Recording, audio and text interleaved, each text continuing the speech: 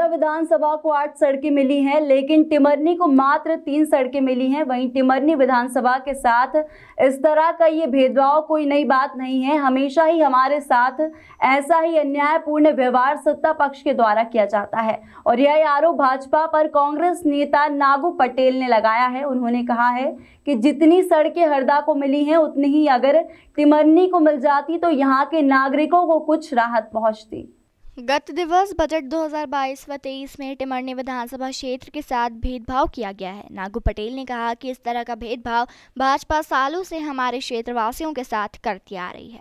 Budget में दूसरे विधानसभाओं के लिए तो काफ़ी सौगातें दी गई है, लेकिन हमारे विधानसभा को नज़रअंदाज किया गया है। अब अगर सड़कों की ही बात की जाए तो हरदा को आठ सड़कें मिली है, लेकिन हमें मात्र तीन सड़कें दी गई हैं, जबकि टिमरनी विधानसभा की सभी सड़कें काफ़ी खस्ताहाल हो रही हैं। नागरिक एक सालों से परेशान हो रहे हैं। हरदा विधानसभा क्षेत्र के विधायक कृषि मंत्री कमल पटेल हैं। इसलिए लगता है मंत्री होने के नाते उनके क्षेत्र को ज़्यादा सड़कें मिली हैं। वहीं टिमरनी विधानसभा क्षेत्र के विधायक संजय शाह है, इसलिए उन्हें कम से ही संतोष करना पड़ रहा है। सिराली के ब्लॉक कांग्रेस कमेटी अध्यक्ष नागो पटेल ने कहा कि अब हम और पक्षपात बर्दाश्त नहीं करेंगे। हम क्षेत्रवासियों को भाजपा की कथनी और करनी दोनों बताएँगे। टिमन्नी विधानसभा के साथ में भेदभाव हुआ है। अगर सड़क का जो बजट है, ग्यारह सड़कें दी है तो इसमें टिमन्नी में मात्र पंद्रह किलोमीटर सड़क दी है।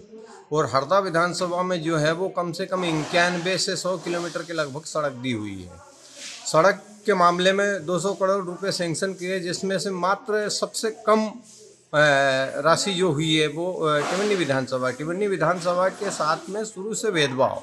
ऐसे ही अभी नहर वाला मामला भी सुनने में आ रहा है, अभी चालू तो नहीं हुई है, पर ऐसा ऐसी जानकारी मिली है कि मतलब सिराली क्षेत्र को पानी नहीं दे रहे हैं। अब सिराली क्षेत्र जो है वो टिमन्नी विधानसभा में आ रहा है। टिमन्नी विधानसभा में नहर को देखो, चाहे सड़क देखो, चाहे कोई सा भी कार्य देखो टिमन्नी विधानसभा के साथ में शुरू से भेदभाव होता चला आ रहा है। हरदा से दोपहर न्यूज़ के लिए सुनील मालाकार की रिपोर्ट।